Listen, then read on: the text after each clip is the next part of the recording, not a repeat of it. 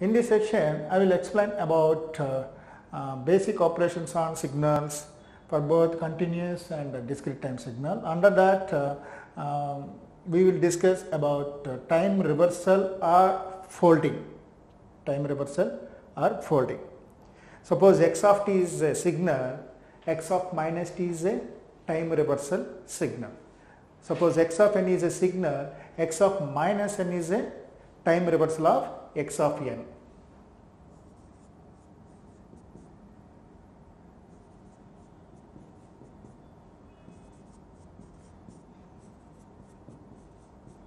x of minus t is a time reversal of x of t and x of minus n is a time reversal of x of n. How do you get, how do you draw the time reversal of x of t or x of n? For example, this is a signal x of t.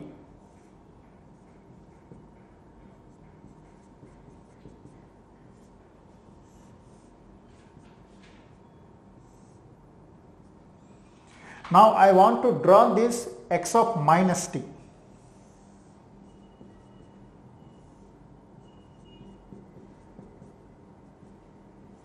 How do you draw the x of minus t? The simple uh, procedure is that on y-axis, on y-axis, you just fold the signal. You just fold the signal. Suppose you have a book. When you fold the book, whatever image is there on the right page will be displayed on the left side. Whatever image is there on the left side will be displayed on the right side. Similarly here also you just fold the signal about the y-axis. So whatever the signal is there on the right side will be available at left side. Whatever signal is there in the left side will be there on the right side. For example, here the signal is folded about the y-axis. So this part, this part will be appears on the left side and this part appears on the right side. Then you will be getting signal like this.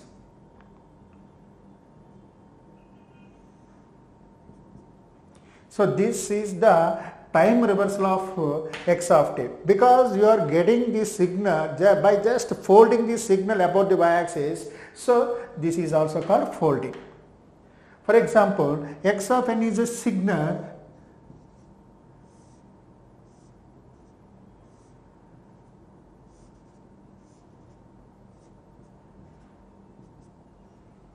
Suppose this is x of n. I want to get x of minus n. Then how do you get x of minus n? You just fold the signal, whether it is a signal or sequence, continuous time or discrete time. You just fold the signal. So whatever the uh, signal is there on the right side will appear at the left side and whatever the signal on the left side will appear at the right side.